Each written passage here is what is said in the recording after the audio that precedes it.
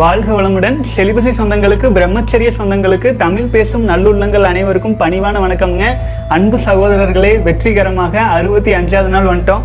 ஒரு ஒரு நாளும் பிரம்மச்சரியத்தில் மன உறுதியோடு கடந்து வந்துட்டு இருக்கிறோம் பல சகோதரர்கள் அபரிமிதமான கேள்விகள் பதில்கள் எல்லாமே இருக்கு. இன்னைக்கு சித்தர் பாடலையும் சேர்த்து பார்த்துடலாமுங்க. நான் ஆக்சுவலாக இன்னைக்கு பட்டணத்தார் பாடலை எடுத்து விளக்கம் கொடுக்கலான்னு ஒரு யோசனை இருந்ததுங்க. ஏன்னா விந்து ஜெயத்தை பற்றி பட்டணத்தார் பாடி இருக்கார் நிறையா. அதுல முக்கியமான விஷயம் பார்க்கலான்னு பார்த்தா ஆனா கொங்கண சித்தர் பாடிய பாடல்களை சகோதரர்கள் மெயில் அனுப்பி கேட்டிருந்தீங்க. ஸோ அதையும் பார்த்துடலாம். அப்புறம் சகோதரர்களே நம்ம வீடியோ வந்து பார்த்தீங்கன்னா ஒரு இருபது இருபத்தஞ்சு நிமிஷத்துக்குள்ள முடிச்சுட்டு மீதி அதுக்காக நான் கேள்வி பதில் வேக வேகமாக அரைக்குறையாக பதில் சொல்லிட்டு போகாமல் எல்லா கேள்விகளுக்கும் திருத்தமாக பொறுமையாக பதில் அளிச்சுட்டு அதே சமயத்தில் ஒரு இருபத்தஞ்சு நிமிஷத்துக்கு மேலே வர்ற கேள்வி பதில் எல்லாமே நாளை காலை பதினோரு மணிக்கு பப்ளிஷ் பண்ணிடலாங்க. தினமும் இப்படி பண்ணிக்கலாம். ஒரு இருபத்தஞ்சு நிமிஷம் வீடியோனா எனக்கு அப்லோட் பண்ணுறதுக்கு ஈஸி உங்களுக்கு பார்க்கறதுக்கு ஈஸி இன்றைய தினத்துடைய பார்ட் டூ வீடியோ எச்சா இருக்கிறது எவ்வளோ எச்சா இருக்கோ அது வந்து நாளை காலை பதினோரு மணிக்கு பப்ளிஷ் ஆயிரும். அப்புறம் எப்போதும் போல இரவு நேரங்களில் வந்து நம்ம நாளை நைட்டு அடுத்த நாளுக்கான வீடியோவும் போட்டுடலாம் இன்னைக்கு எக்ஸஸாக இருக்கிறது மட்டும் நாளைக்கு பார்த்துடலாங்க வாழ்க வளமுடன் சகோதரர்களே அப்புறம் வந்து பார்த்தீங்கன்னா நம்முடைய இணையதளமெல்லாம் கொஞ்சம் அப்டேட் பண்ணியிருக்கு.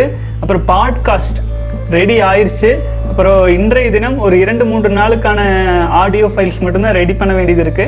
ஆகவே பாட்காஸ்டாக ஆடியோ ஃபைலாக உனி நீங்கள் மொபைல் ஃபோன் எடுத்து ஜஸ்ட் ஆடியோ போட்டுவிட்டு எந்த வேலை செஞ்சாலும் பிரம்மச்சரியத்தை பற்றி நம்ம டிஸ்கஸ் பண்ணிட்டு இருக்கிறது கேட்டுட்டு இருக்கலாம். அது நம்முடைய இணையதளம் செலிபசி டாட் இன் இணையதளத்துக்குள்ளே போனாலே உங்களுக்கு வந்து ஆப்பிள் பாட்காஸ்ட்டில் கூகுள் பாட்காஸ்ட்டில் அப்புறம் பாக்கெட் காஸ்ட்டு அப்புறம் ஸ்பாட்டிஃபை அப்புறம் நம்முடைய செலிபசி டாட் இன் இணையதளத்தில் ஸோ எல்லா வ- இடங்களிலும் அவைலபிள் இருக்கு. இனி ஆச்சுங்களா? வீடியோ மட்டும் இல்லாது இனிமேல் தினம் தினம் இன்றைக்கு போடுற வீடியோ நாளை மதியம் மாதிரி ஆடியோ ஃபைலாகவும் பாட்காஸ்ட்லேயும் வந்துடும் ஸோ தொடர்ந்து பயணிக்கலாம் சகோதரர்களே. ஏதேனும் ஒரு விதத்தில் நம்முடைய தமிழ் சமுதாயத்துக்கு நிறையா பேரை போய் சேரணும் அப்படிங்கிற ஒரே ஆர்வம் தானுங்க. தொடர்ந்து பயணிக்கலாம். அப்புறம் சகோதரர்கள் கேட்ட கேள்வி பதிலுக்குள்ளே வேக வேகமாக வந்துடலாங்க நெட்காலி சகோதரர் பா சொன்ன பாடலை பா கேள்வி பார்த்துட்டு அடுத்தது வந்து சித்தர் பாடல்களுக்குள்ளே போயிடலாம். அண்ணா எஸ்டர்டே வீடியோவில் ஒருத்தர் மெயில் சென்ட் பண்ணதை வச்சு ஒரு விஷயம் சொன்னீங்கல்ல இது மாதிரி மூவிஸில் வர்ற love scenes female scenes scenes பார்க்கக்கூடாதுன்னு அதே மாதிரி லவ் சாங்ஸும் கேட்கவே கூடாதா? இல்லை நமக்கு பிடிச்ச ஒரு சில சாங்ஸ் செலக்டிவாக வச்சு கேட்கலாமா அப்படி கேட்டால் ப்ராப்ளம் இல்லை இல்லைன்னா ப்ளீஸ் ரிப்ளை பண்ணுங்க. வாழ்க வளமுடன். சகோதரரை நீங்கள் ஐம்பத்தி ஆறு நாள் கடந்துட்டீங்க. உங்களுக்கு பிரச்சனை இல்லை. ஏன்னா நீங்கள் நாற்பத்தி எட்டு நாள் கடந்து வந்ததுனால ஓரளவு மேனேஜ் பண்ணிடலாம் ஆரம்ப கட்டத்தில் ஸ்ட்ரகிள் ஆகிட்டு இருக்கிறவங்க சினிமா பாடல்களை தவிர்க்கிறது நல்லது. சினிமா பாடல்கள் கேளுங்க. எந்த மாதிரி பாடல்கள் தெரியுங்களா? பக்தி பாடல்கள். பக்தி பாடல்கள்லாம் அபரிமிதமா இருக்குங்க. நிறைய இருக்கு. ஏன்? நம்முடைய சிவவாக்கியர் பாடல்கள் யூடியூப்லேயே நிறைய மணிக்கணக்கில் பாடியிருக்காங்க இல்லைங்களா? ஆன்மீகம் சார்ந்த திரைத்துறை பாடல்கள். அதாவது ஆயிரத்தி தொள்ளாயிரத்தி எண்பதுக்கு முன்னாடி ரஜினி கமல் வர்றதுக்கு முன்னாடி தமிழ் திரையுலகம் நம்ம பக்தி மார்க்கத்துக்கு நல்ல ஒரு முக்கியத்துவம் கொடுத்து சிறப்பாக வந்துட்டு இருந்ததுங்க.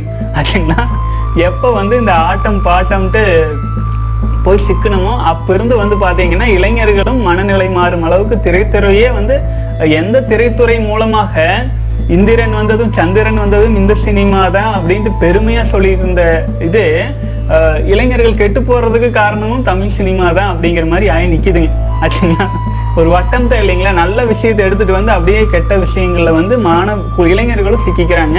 ஆகவே ஆன்மீக பாடல்களாக நம்முடைய முன்னோர்கள் சித்தர்கள் எழுதி வச்ச பாடல்களை கூட கொண்டுட்டு போய் காதலுக்கு போய் பெண்ணின் மீது சிற்றின்பத்துக்கு வச்சு ஆஹ், பாட்டா மாத்தி போட்டுறது இல்லை இந்த பெரும்பாலும் வைரமுத்து கவி எல்லாம் பார்த்தீங்கன்னா நம்முடைய சித்தர்கள் எழுதின ஆன்மீக பேரின்பத்துக்காக எழுதின பாடல்களோட வரிகளெல்லாம் தூக்கிட்டு போய் சிற்றின்பத்துக்காக எழுதி அதை சினிமா பாடல்களா வந்திருக்கும். அது உண்மையில் பேரின்பத்துக்காக சித்தர்களாலும் யோகிகளாலும் எழுதப்பட்ட பாடல். அதுல இருக்கிற வரிகளை உருவி உருவி காமத்துக்காக எழுதி வச்சிருப்பாங்க. ஆகவே பாடல்கள்லாம் ரொம்ப உஷாரா இருங்க.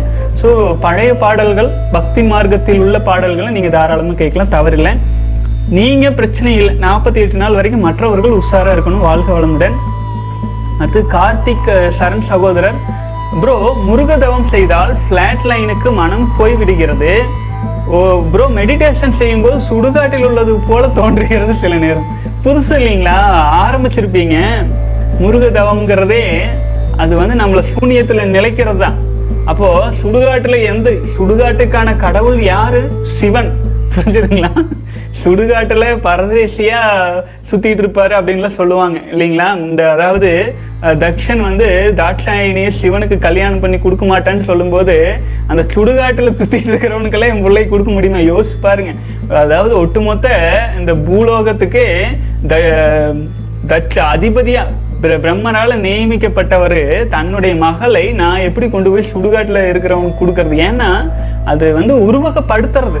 தவநிலை அப்படிங்கிறது அதாவது ச- இந்த சடலம் சவம் எப்போ போகுதோ அந்த இடத்துல சிவம் துவங்கிடுதுன்னு சொல்லுவாங்க. எல்லா ஆட்டமும் ஒளிந்து முடியும் இடத்தில் சிவம் துவங்குகிறதும்பாங்க. அதனால சிவத்தின் துவக்கமே சுடுகாட சொல்லியிருப்பாங்க. நீங்க முருக தவத்துல ஆச்சுங்களா எவன் ஒருவன் தூங்கும் போது விழித்திருக்கிறானோ எவன் ஒருவன் மற்றவர்கள் விழித்திருக்கும் போது உறங்குகிறானோ அவனே யோகின்ட்டு நம்ம கிருஷ்ணன் சொல்லியிருப்பார். அந்த மாதிரி சுடுகாட்டில் எல்லாம் மரண நிலைக்கு போவாங்க. ஆனால் நம்ம விழிப்பு நிலைக்கு போகிறோம் புரிஞ்சுதுங்களா? ஆகவே ஆரம்ப கட்டத்தில் திடீர்னு மனசு எல்லாம் பியூர் சைலன்ஸ் ஆகும்போது வான்காந்த ஆற்றல் நமக்குள்ள நிறையுது இல்லைங்களா? அதனால வந்து நமக்கு வந்து பார்த்தீங்கன்னா ஒரு மாதிரியாக பொருந்தாமல் இருக்கும்.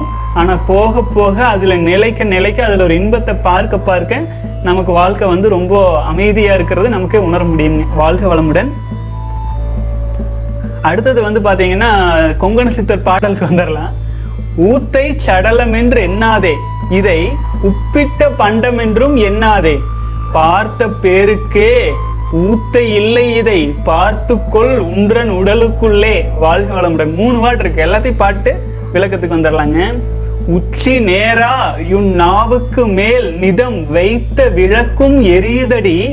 அச்சுள்ள விளக்கு வாழையடி அவியாமல் எரியுது வாழை பெண்ணே எரியுதே அரு வீட்டினிலே எதில் எண்ணெய் இல்லை அமில் தண்ணீர் இல்லை. எரியுது போக வழியும் இல்லை. பாதை சிக்குது சிக்குது வாழை பெண்ணை வாழ்க வளமுடன். இது வந்து முழுக்க முழுக்க விந்து ஜெயத்துக்கான பாடலுங்க. இதை நான் வந்து விளக்கமா நான் விளக்கம் சொல்லிட்டே படிச்சுட்டு வரேன். உங்களுக்கு தெளிவா விளங்கும். ஊத்தை சடலம் என்று எண்ணாதே ஊத்தை சடலம் உப்பிட்ட பண்டம் இது அப்படி அப்படியெல்லாம் வந்து சொல்லுவாங்க இல்லைங்களா? அந்த மாதிரி எல்லாம் நினைக்க வேண்டாம். ஊத்தை சடலம் என்று எண்ணாதே இதை உப்பிட்ட பண்டம் என்றும் எண்ணாதே. பார்த்த பேருக்கே ஊத்தை இல்லை. எதை பார்த்த பேருக்கு?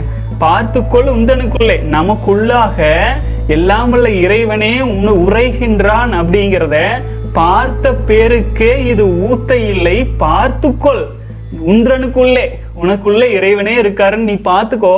அப்போ இந்த உடல் மூத்தை சடலம் அப்படின்னு நம்ம நினைக்க மாட்டோம். உடலின் அருமையை உணர்ந்து கொள்ளுவோம். உடலை வளர்த்தேன் உயிர் வளர்த்தேனே அப்படின்னு திருமூலர் சொல்றாரு இல்லைங்களா? அந்த மாதிரி சொல்றாங்க. அடுத்த பாடல் வந்துடலாம். அதாவது உச்சிக்கு நேராய் உன் நாவுக்கு மேல் நிதம் வைத்த விளக்கும் எரியுதடி. ஆக்னா துரிய சக்கரங்க இப்ப நம்ம வந்து விந்துஜயம் பயிற்சி செய்ய செய்ய செய்ய செய்ய என்ன ஆகுதுங்க? ஆக்ன சக்கரமும் துரிய சக்கரமும் நம் காந்த ஆற்றல் அதிகரிக்கிறதுனால நமக்கு அப்படியே உணர்வுகள் தெரிய ஆரம்பிக்குது இல்லைங்களா? உச்சிக்கு நேராய் உள் நாவுக்கு மேல் நிதம் வைத்த விளக்கும் எரியுதடி. அச்சுள்ள விளக்கு அச்சுள்ள அந்த விளக்கு வந்து வாழை வாழை வாழைன்னு சொல்றாங்க இல்லைங்களா? அது நம்முடைய வாழை பெண் அப்படின்னு சொல்றது வந்து ஆண்களுக்கு வந்து பாத்தீங்கன்னா நாதம் தலையில ஆச்சுங்களா? அப்புறம் விந்து சக்தி இனப்பெருக்கு பாகத்துல. பெண்களுக்கு வந்து விந்து வந்து தலையில நாதம் வந்து இனப்பெருக்க பாகத்துல. திருமந்திரத்துல அந்த ஃபார்மேட்ல தான் வருங்க. அதான் சொல்றாரு இவர் வாழை வாழைன்னு சொல்றது ஆண்களுக்கு தலையில் இருக்கும் நாதத்தை. ஆச்சுங்களா? அப்போ உச்சிக்கு நேராய் உண்ணாவுக்கு மேல் நிதம் வைத்த விளக்கும் எரியுதடி அச்சுள்ள விளக்கு வாழையடி அவியாமல் எரியுது வாழை பெண்ணை. இப்ப எப்படிங்க ஒரு தீபம் ஏத்தி வச்சா அதுல விளக்கு வெளிச்சத்துல எரிய ஆரம்பிக்கும் இல்லைங்களா? அதே மாதிரியே நம்ம ஆழ் நிலையில தியானத்தில் தவத்தில் விந்துஜயம் பயிற்சி செஞ்சுட்டு இருக்கும்போது அது நம்ம ஆற்றலை என்ன பண்ணுறோம் மேலே கொண்டு வந்து வச்சிடறோம். மேலே கொண்டு வந்து வைக்கிறதுனால நமக்கு வந்து பார்த்தீங்கன்னா அபரிமிதமாக அபரிமிதமாக வந்து பார்த்தீங்கன்னா அந்த குருகுருப்பு தன்மை ஒரு இச்சிங் சென்சேஷன் அது ஒரு இன்பமாக இருக்கும். ஆச்சுங்களா? அதை தான் வந்து பார்த்தீங்கன்னா அவியாமல் எரிஞ்சிட்டு இருக்குதே அப்படிங்கிறாரு. அடுத்தது வந்து பார்த்தீங்கன்னா எரியுதே அரு வீட்டினிலே அதில் எண்ணெய் இல்லை யமில் தண்ணீர் இல்லை தெரியுது போக வழியும் இல்லை பாதை சிக்குது சிக்குது வாழைப்பிள்ளி வாழ்க வளமுடன். அடுத்தது ஹியூமனிட்டி மேன் அப்படிங்கிற சகோதரர் வந்து கொங்கணர் சித்தர் பாடல் இன்னொன்றை வந்து அனுப்பியிருக்காரு. அதையும் படிச்சிடுறேங்க. தன் வீடு இருக்க அசல் வீடு போகாதே. தாயார் தகப்பனை வையாதே. உன் வீட்டுக்குள்ளே யூகம் இருக்கையில் ஓடித் திரிகிறாய் வாழைப்பெண்ணே இதுக்கு விளக்கமும் கொடுத்துருக்குறாருங்க. உன் மனைவி இருக்க வேறொரு பெண்ணை தேடி செல்லாதே. பெற்றோரை திட்டாதே. உனக்குள்ளே உயிர் சக்தி இருக்கையில் ஏன் வெளியில் தேடுகிறோம்? வாழ்க வளமுடன். மிக அருமைங்க. அதாவது தன் வீடு இருக்க அசல் வீடு போகாது. இதுல வந்து மற்றவங்க என்ன விளக்கம் கொடுத்தாங்கன்னு தெரியல. நான் உங்களுக்கு விளக்கம் கொடுக்குறேன் பாருங்க. தன்னுடைய வீடு இருக்கும்போது தன்னுடைய வீடுன்னு என்ன? நம்ம உயிர் பெற்று வந்திருக்கிறோம் இல்லைங்களா? இந்த உயிருக்கான உடல் என்ன? வீடு என்ன? நம்முடைய உடல் ஆச்சுங்களா? நம்முடைய தன் வீடு இருக்கும்போது நமக்கு இறைவனால் கொடுக்கப்பட்ட இந்த வீடு இருக்கும்போது அசல் வீடு போகாதே. அசல் வீடுன்னா என்ன? வேறொரு மனிதரின் மீது காதலோ காமமோ ஏதேனும் ஒரு விதத்தில் நம்முடைய உயிர் அணுக்களை உயிரையே வச்சிருக்கிறோன்னு சொல்றோம் இல்லைங்களா? இன்னைக்கு நம்ம மேல உயிரே வச்சிருக்கிறேன். நீ இல்லைன்னு எனக்கு வாழ்க்கையே இல்லை. அப்படியே விழுந்துடுறோம் இல்லைங்களா? அதைத்தான் சொல்றாரு. தன் வீடு இருக்க நமக்காக இறைவன் கொடுத்த கொடையாகிய இந்த வீடு இருக்கும்போது அசல் வீடு.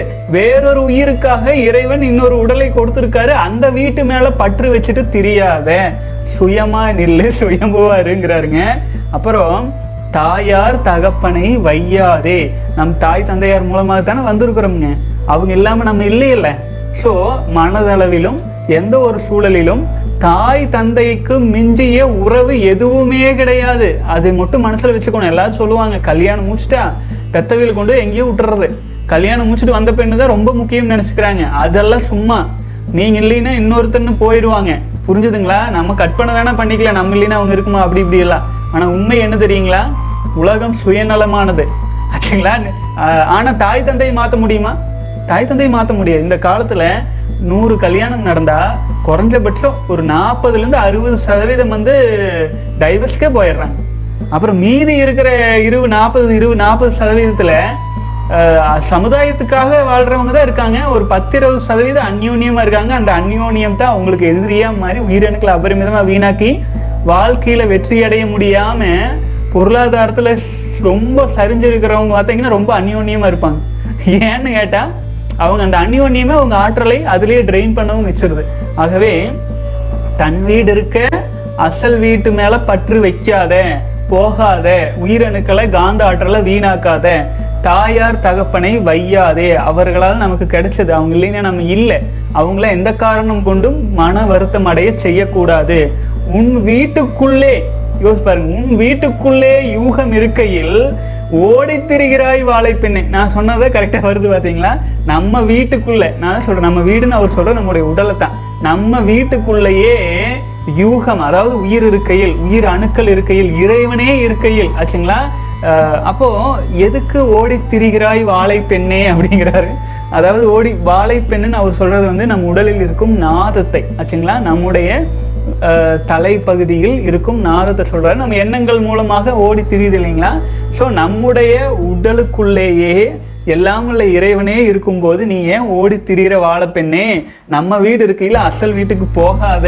நமக்கு முக்கிய காரணமா இருக்கிற தாய் தந்தையருக்கு மரியாதையோடு இரு அப்படிங்கிறாருங்க. வாழ்த்து வளமுடன். அடுத்தது வந்து பார்த்தீங்க அப்படின்னா சகோதரர் கேட்டிருக்கீங்க. அண்ணா அரசு வேலை தனியார் வேலை எது தற்போதைய காலத்தில் நல்லது? நான் ஹோட்டல் மேனேஜ்மெண்ட் படித்து ஒர்க் பண்ணுறேன் இதில் சைன் பண்ணுவேன்னு நம்பிக்கை இருக்குது எனக்கு ஒரு சொல்யூஷன் சொல்லுங்கள் ஆக்சுவலாக இதில் என்ன பிரச்சனை தெரியுங்களா? இறைவன் ஒரு ஒருத்தருக்கும் ஒரு ஒரு விதமான சூழலையும் வாய்ப்பையும் எல்லாம் உருவாக்கி வச்சிருப்பாங்க. இப்போ நான் வந்து என்னுடைய சூழலுக்கு தகுந்தாற் போல் நான் சில விஷயங்கள் சொல்ல அது எனக்கு சரியாக படலாம்.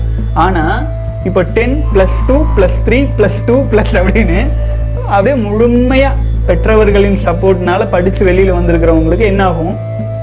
அவங்கெல்லாம் வந்து பார்த்தீங்கன்னா வேலைக்கு போகிறதுனா விரும்புவாங்க பயங்கரமாக விரும்புவாங்க. இப்போ நம்ம அந்த மாதிரி மனநிலையில் இருக்கிறவங்களுக்கு அது சரி சரிதான். அது நம்ம குறை சொல்ல முடியாது. ஆகவே உங்களுக்கு எது கம்ஃபர்டபுளாக இருக்கோ உங்களுக்கு உங்கள் உள்ளார்ந்து எது சரியாக தோணுதோ அது நீங்கள் செய்யுங்க. என்ன செஞ்சீங்கன்னாலும் கர்ம யோகத்துல ஆற்றலை விரயம் செய்யாது. ஆழ்ந்து செய்யுங்க கண்டிப்பா சக்சஸ் கிடைக்குங்க. நீங்க பிரம்மச்சரியத்துல நிலையா இருக்கும்போது உண்மை தெள்ள தெளிவா உங்களுக்கு தெரிய ஆரம்பிக்கும். யாராச்சும் ஏதாச்சும் பேசுறாங்கன்னா அவங்க வார்த்தையை பார்க்க மாட்டோம். அவங்க உள்ளுக்குள்ள எண்ணத்தை வச்சுட்டு வாயில பேசுறாங்கன்னு நம்ம பார்த்துருவோம். ஆச்சுங்களா? அவ்வளோ சீக்கிரம் நம்மக்கிட்ட எதையும் மறைக்க முடியாது. அப்போ நீங்க உங்ககிட்ட இருக்கிறத நீங்க காப்பாத்தி வைங்க. பிரம்மச்சரியத்துல ஸ்ட்ராங் இருங்க. ஒரு ஒரு வாய்ப்புகளும் உங்களை தேடி தானாக வான்காந்த ஆற்றல் மூலமாக வரும். நல்லதை எடுத்துக்கோங்க அல்லதை விட்டுருங்க. வாழ்க்கை சிறப்பாக இருக்கு. வாழ்க வளமுடன். அடுத்தது வந்து பிரெஞ்சு நாட்டில் வசிக்கும் ஒரு ஈழத்தமிழன். என் வயது முப்பத்தி இரண்டு. நான் கடந்த பதினெட்டு வருடங்கள் சுய இன்பம் செய்து வருகிறேன். ரெண்டாயிரத்தி இரண்டாம் வருடம் பதினாலு வயதில் ஒரு பெண்ணை இலங்கையில் காதலித்தேன். அதிகப்படியாக அந்த பெண்ணின் நினைவுகளால் அறியாத வயதில் தற்செயலாக சுய இன்ப பழக்கத்தை கற்றுக்கொண்டேன். படிப்படியாக எனது சுய இன்ப பழக்கம் ஒரு நாளைக்கு இரு முறை என இருந்த பழக்கம் ரெண்டாயிரத்தி மூணாம் ஆண்டு பிரெஞ்சு நாட்டிற்கு சென்ற பிறகு தற்செயலாக தொலைக்காட்சியில் பார்த்த ஆபாச படத்தை வைத்து அதுக்கு அடிமையும் ஆனேன். அன்றிலிருந்து மெல்ல மெல்ல எனது சுய இன்ப பழக்கம் அதிகரித்து மிகவும் பலவீனம் அடைந்து கல்வியை கற்க முடியாத ஞாபக ஆற்றல் இல்லாது பிரெஞ்சு மொழியை கூட கற்க முடியாது எனது இருபத்தி ஒரு வயதில் கல்வியை நிறுத்திவிட்டு கடை ஒன்றில் பொருள் அடுக்கும் வேலைக்கு சென்று விட்டேன் ஐயா என் தந்தை என்னை ஒரு பட்டதாரியாக நினைத்தார். நானும் அதை தான் விரும்பினேன். ஆனால் மீள முடியாத காம வலையில் விழுந்து விட்டேன் என்னோடு பயணித்த நண்பர்கள் சகோதரர்கள் அனைவரும் மிக பெரிய உயரத்தை அடைந்து விட்டார்கள். நானோ இப்படி ஆகிவிட்டேன் என்று கூனி குறுகி மனவேதனை பட்டேன். இருபத்தி ஐந்து வயதான பிறகு ஒரு பெண்ணை காதலித்து மனம் புடி மனம் முடித்தேன். இரு பிள்ளைகள் எனக்கு பிறந்தன. ஆனால் என் மனைவியோடு உடல் உறவு கொள்வதை விட ஆபாச படத்தை பார்த்து சுய இன்பம் செய்வதை என் மனம் விரும்பியது. திருமணமாகி ஏழு வருடங்கள் ஆகியும் எங்களுக்குள் நல்ல மகிழ்ச்சி மகிழ்ச்சியான புரிதலற்ற நிலையே இருந்தது. என் மனைவி என்னை காதலிக்கிறாள் நானும் அவளை காதலிக்கிறேன். ஆனால் அவளோடு இயல்பாக பழக என்னால் முடியவில்லை. ஒரு முறை தவறான முடிவுக்கு வந்துவிட்டேன். உயிர் சக்தியை முழுவதுமாக வெளியேற்றினால் தான் நிம்மதியாக நான் வாழ முடியும் என்று ஓயாமல் சுய இன்பம் செய்து பார்த்தேன். ஆனால் நான் மிகவும் பலவீனம் அடைந்ததுதான் மிச்சம். எப்படியாவது இதிலிருந்து விடுபட்டுவிட நினைத்து பல காணொளி தேடலில் உங்கள் காணொளி பார்த்து பிரம்மச்சரியத்தை அறிந்து கொண்டேன். ரெண்டாயிரத்தி இருபத்தி ஒன்று ஜனவரி ஒன்றாம் நாள் ஆரம்பித்து எண்பத்தி மூன்று நாட்கள் பிரம்மச்சரியம் கடை கடைபிடித்து வந்தேன். இறுதியாக தடுமாறி மூன்று முறை சுய இன்பம் செய்து ஆபாச வீடியோ பார்த்துவிட்டேன் மிகவும் நொறுங்கி போனேன். ஆனால் இந்த எண்பத்தி மூணு நாட்களில் எனக்கு கிடைத்த அனுபவம் மிகவும் சிறப்பானது. எனது மனைவியோடு பேசி பழகும் ஆற்றல் எனக்கு அப்போதுதான் வந்தது. எல்லோரோடும் நன்றாக பேச முடிந்தது. என் முடி உதிர்வு நின்று போனது. எனது உடல் மிகவும் வலிமையானது. ஞாபக சக்தி அபாரமானது. கண்கள் நன்றாக பார்க்கும் திறன் பெற்றது.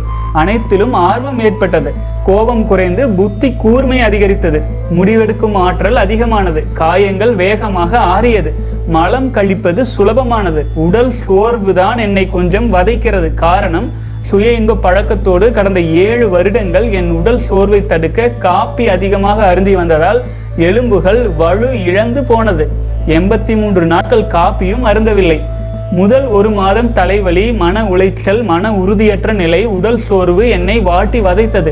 இப்போது மீண்டும் ஆயிரம் நாட்கள் பிரம்மச்சரியத்தை கடைபிடிக்க நினைக்கிறேன்.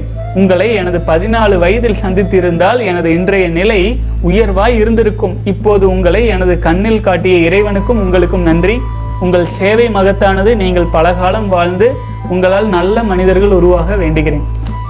வாழ்க வளமுடன் சகோதரன் எவ்வளவு உண்மை பாருங்க. எவ்வளவு மிக அருமையான அனுபவம்.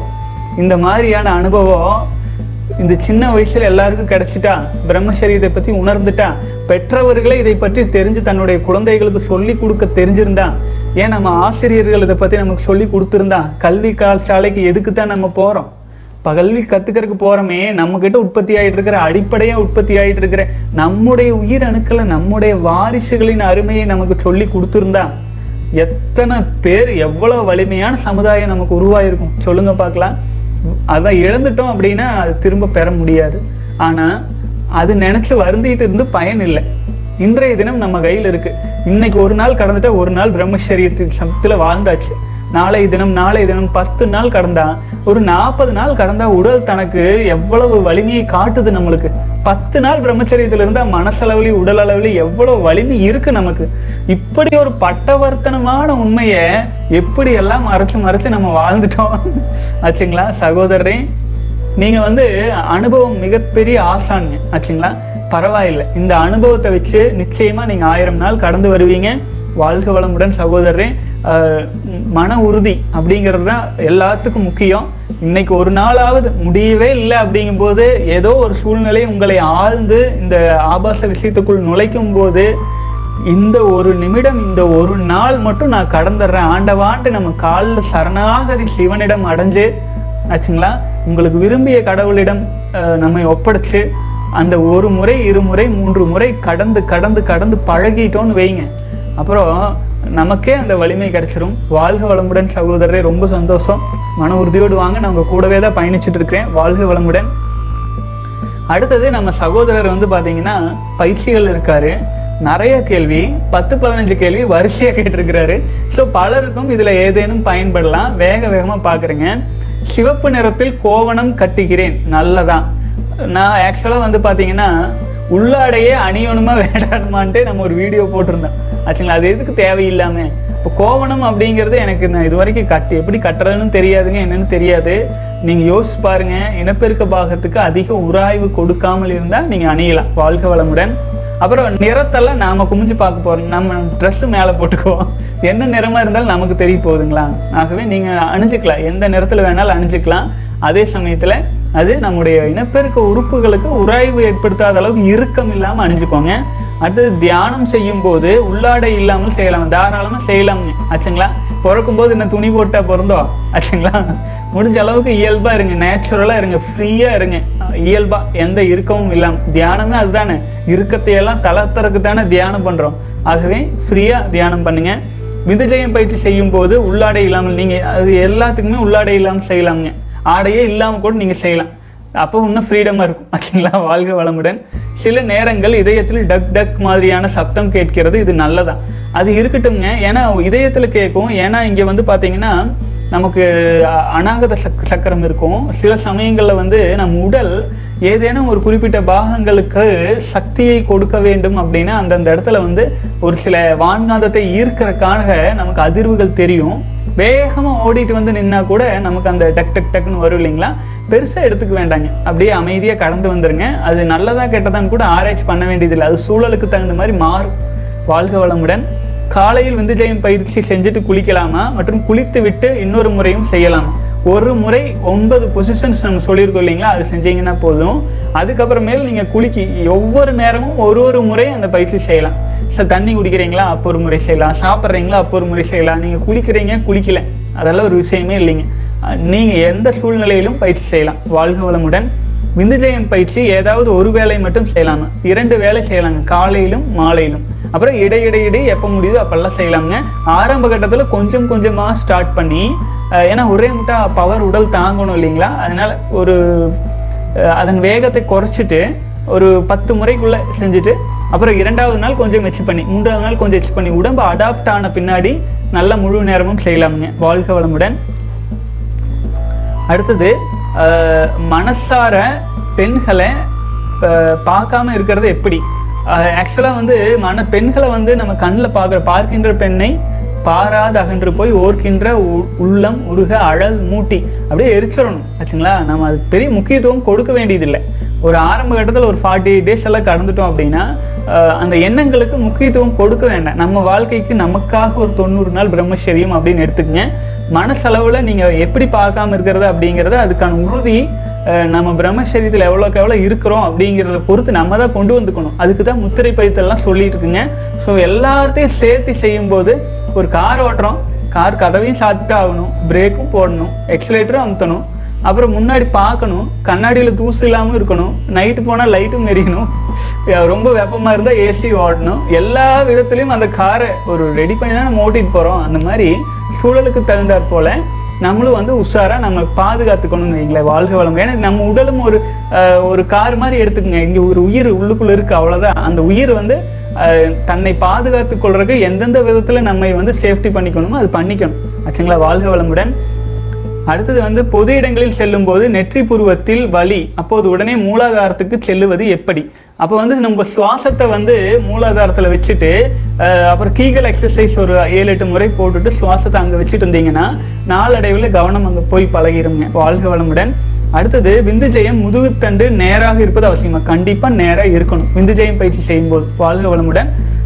சில நேரங்களில் தியானம் செய்யும் போது ஆண்குறி விரைக்கிறது. இன்றோ ஒரு சில நேரங்களில் தியானம் செய்து முடித்து விட்டு விரைக்கிறது. அது என்ன பண்ணலாம் அப்படின்னாங்க அதை நீங்கள் சிவமாகவே நினச்சி அதை நீங்கள் வந்து ஒரு தெய்வீக பார்வையாக நீங்கள் சிவத்தை ப சிவலிங்கத்தை பார்க்கறது போல் கூர்ந்து ஒரு ஒரு ஃபியூ செகண்ட்ஸ் பார்த்தீங்கன்னா நார்மலாயிரும் புரிஞ்சுதுங்களா? உங்ககிட்ட உடலில் ஆற்றல் இருக்குது அப்போ அந்த ஆற்றல் வந்து வேற வழியில் டிரான்ஸ்மியூட்டேஷன் இன்னும் ஆகலை. ஆச்சுங்களா? வே- அது ஆக ஆரம்பித்தோன்னே அந்த விரைப்பு த- இந்த மாதிரி வர்ற விரைப்புகள்லாம் குறைஞ்சிரும். அடுத்தது வந்து வாழ்க வளமுன்னு அவ்வப்போது விதைப்பையில் சிலிர்ப்பு மாதிரி தோன்றுகிறது நல்லதா? இது தோணும்.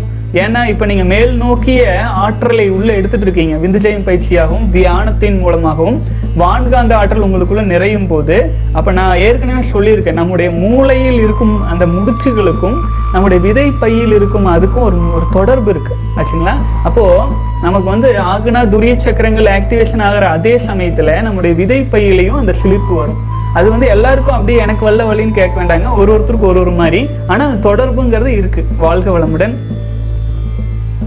அடுத்தது வந்து இரவில் விளக்கெண்ணெய் தலையில் தேய்த்து கொள்ளாம. இரவுல வேண்டாங்க. விளக்கெண்ணெய் எல்லாம் தலையில் தேய்ச்சிங்கன்னா நைட்டு தூங்கையில அவ்வளவுதான். தலைகாணிலேருந்து எதுவுமே ஒன்றும் பண்ண முடியாம போயிடும் மறுநாள் பயன்படுத்த முடியாது. தேங்காய் எண்ணெய் கூட தேய்ச்சிங்க நைட் நேரத்துல. குளிக்கிறதுக்கு முன்னாடி கூட விளக்கெண்ணெய் தேய்ச்சிக்கோங்க. பகலில் விளக்கெண்ணெய் தேய்ச்சிக்க முடிஞ்சால் தேய்ச்சிக்கோங்க. வாழ்க வளமுடன். விந்துஜயம் பயிற்சியில் ஓஜஸ் மூச்சு செய்வேன். விந்துஜயம் பயிற்சிக்குள்ள போயிட்டீங்கன்னா அங்க என்னென்ன இருக்கோ அது எல்லாமே நீங்க செஞ்சுதான் ஆகணும் அரைகுறையா செய்ய முடியாது. அடுத்து ஹீலர் பாஸ்கர் ஐயா சொல்லி கொடுத்த நயன் ஜாயிண்ட் எக்ஸசைஸ் செய்துட்டு விந்துஜயம் பயிற்சி செய்யலாமா? அதற்கு பின் தியானம் செய்யலாமா? அதற்கு பின் சூரிய வணக்கம் செய்யலாமா? அதற்கு பின் எங்க ஊரில் ஏதாவது அதாவது சூரிய கதிர்கள் ஏழை கால் மணிக்கு வீட்டின் உள்ளே சூரிய தவம் செய்யலாமா? வாழ்க வளமுடன். நீங்க சொன்ன எல்லாமே செய்யலாம். ஆச்சுங்களா? நான் இது எல்லாமே மேல் நோக்கிய பயணம். இல்லைங்களா? நல்ல விஷயங்கள். நல்ல விஷயங்கள் நீங்க எப்ப வேணாலும் செய்யலாம். யார் சொல்லி கொடுத்தாலும் செய்யலாம். தவறில்லை. வாழ்க வளமுடன். வசிய மந்திரம் குளிக்காமல் காலையில் சொல்லாம தாராளமா சொல்லாம குளிக்காம சொல்லலாம். அஹ் உடல்ல வந்து கழிவு பொருள் இல்லாம பார்த்துக்கோங்க. வாழ்க வளமுடன். அடுத்து விந்துஜயம் பயிற்சி செய்து முடித்து விட்டு வசிய மந்திரம் சொல்லலாம். சொல்லாங்க வாழ்க வளமுடன். வசிய மந்திரம் காலையில் நீங்க செய்யறதுக்கு முன்னாடி விந்துஜயம் பயிற்சி செஞ்சுட்டு அப்புறம் அப்புறம் செய்யுங்க. அப்பதான் அது எஃபெக்டிவா இருக்கும். வாழ்க வளமுடன். அடுத்து அண்ணா விந்துஜயம் பயிற்சி செய்யும் போதே ஆண்குறி மிகவும் விரைக்கிறது. இது ந இது நல்லதா? ஆண்குறி விரைப்பதற்கு விரைப்போடு விந்துஜயம் பயிற்சி செய்யலாமா? நான் சொன்னேன் இல்லைங்களா ஆண்குறி வந்து பார்த்தீங்கன்னா சிவலிங்கமா நினைச்சு ஒரு ஃபியூ செகண்ட்ஸ் நெற்றிக்கண் பார்வையா பாருங்க. ஆட்டோமேட்டிக்காக அது நார்மல் ஆயிரும். அதுக்கப்புறம் நீங்க விந்துஜயம் பயிற்சி செய்யுங்க. விந்துஜயம் பயிற்சி செய்து முடித்துவிட்டு ஆண்குறியில் ஒரு மாதிரியான திரவம் வருகிறது நல்லதான் அது வந்து லாக்டோஸ் திரவமா இருக்கும். ஏன்னா நீங்க விரைக்குதுன்னு சொல்றீங்க இல்லைங்களா? அப்போ அது விரைக்குதுனாலே அங்க வந்து சிராய்வுகள் ஏற்பட்டுறக்கூடாதுன்னு உடல் இயல்பாக ஒரு வகையில் திரவத்தை சுரந்துரும். அது நீங்கள் நார்மலைஸ் பண்ணிட்டீங்கனாலும் அந்த இடத்துல அது குறிப்பிட்ட திரவம் இருக்கும். அது பெருசாக கண்டுக்காதீங்க. அது டிரான்ஸ்மியூட்டேஷன் அதனால தான் அந்த மாதிரி வந்துட்டு இருக்கு. ஆக ஆரம்பிச்சிரும். விந்துசயம் பயிற்சி ஆழ்ந்து செய்ய செய்ய இது நார்மலுக்கு வந்துடும் இப்போ நீங்கள் வாய்க்கால் போயிட்டுருக்கு அப்போ நீங்கள் வந்து பார்த்தீங்கன்னா போட்டு அடைக்கிறீங்க. அப்படி சும்மா அடைச்சிங்கன்னா பொங்கி வெளியில் தானே வரும். அதுக்கு முன்னாடி அந்த தண்ணி போகிறதுக்கு வேற ஒரு பாதையை திறந்து விட்டுட்டு அப்புறம் நீங்கள் அடைச்சீங்கன்னா அந்த வேற பாதையில் போகும். அந்த வேற பாதை தான் விந்துஜயம் பயிற்சி. மற்றும் வந்து பார்த்தீங்கன்னா தியான முறைகள் முத்திரை பதித்தல் உங்கள் வாழ்க்கையில் எது எதெல்லாம் அச்சீவ் பண்ணணும்னு நினைக்கிறீங்களோ அதை நோக்கி போகிறது எல்லாமேங்க. வாழ்க வளமுடன். அடுத்தது முத்திரை பதித்தலில் எல்லாம் வல்ல இறையாற்றல் கருணையினால் மன உறுதியோடு தூய்மையடைந்து பிரம்மச்சரியத்தில் நிலைத்து நல்ல உடல் நலம் நீலாயுள் நிறை செல்வம் உயர் புகழ் மெய்ஞானம் பெற்று மென்மேலும் சிறப்பாக ஆனந்தமாக மகிழ்வாக வாழ்வேன். அருமையா இருக்குங்க சூப்பரா சொல்லலாம் நான் இன்னொரு தடவை படிச்சுட்டு பார்க்குறேங்க எல்லாம் வல்ல இறையாற்றல் கருணையினால் மன உறுதியோடு தூய்மையடைந்து பிரம்மச்சரியத்தில் நிலைத்து.